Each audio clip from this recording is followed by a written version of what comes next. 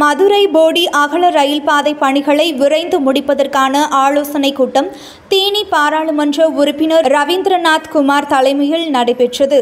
பல ஆண்டுகளாக நிலுவையில் உள்ள மதுரை போடி அகல ரயில் பாதை திட்ட பணிகளை விரைந்து முடித்து மக்கள் பயன்பாட்டிற்கு கொண்டு வர தேனி பாராளுமன்ற உறுப்பினர் ரவீந்திரநாத் குமார் தீவிரமாக செயல்பட்டு வருகிறார். அவரது முயற்சியின் பலனாக தற்போது ரயில்வே பணிகள் தீவிரமாக நடைபெற்று வருகின்றன.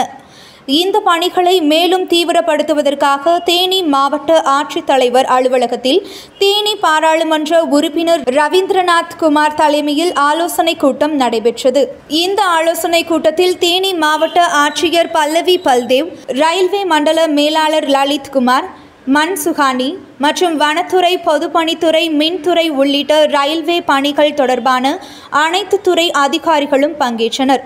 இந்த ஆலோசனை கூட்டத்தில் பேசிய தேனி பாராளுமன்ற உறுப்பினர் ரவீந்திரநாத் குமார் இந்த ரயில்வே வழித்தடத்தில் உள்ள தாழ்வாக உள்ள மின் கம்பங்களை விரைவில் அகற்றி உயர் மின் கம்பங்கள் அமைத்திட மின்சார வாரியமும் ரயில்வே பாதையில் உள்ள மரங்களை அகற்றும் பணிகளை விரைவாக தொடங்கவும் வனத்துறை நடவடிக்கை எடுக்க வேண்டும் எனவும் ரயில்வே பணிகளில் தாமதம் ஆவதற்கு வழக்குகள் ஏதேனும் இருப்பின் மாவட்ட நிர்வாகம் அதனை முடிப்பதற்கும் ரயில் பாதை ஆக்கிரமிப்புகள் ஏதேனும் இருப்பின் அவைகளை அகற்றிடவும் ரயில் பாதை அருகே குடியிருப்பவர்களை மாற்றுப் பகுதிகளில் குடியமர்த்தவும் தீவிர நடவடிக்கை எடுக்க வேண்டும் எனவும் ரயில்வே பணிகளுக்கு இடையூறாக உள்ள அனைத்து தடங்கல்களையும் போக்கி உடனடியாக பணிகளை மேற்கொண்டு கூடிய விரைவில் பணிகளை முடித்து பொதுமக்களின் பயன்பாட்டிற்கு கொண்டு வர வேண்டும் என்று அதிகாரிகளை வலியுறுத்தினார்.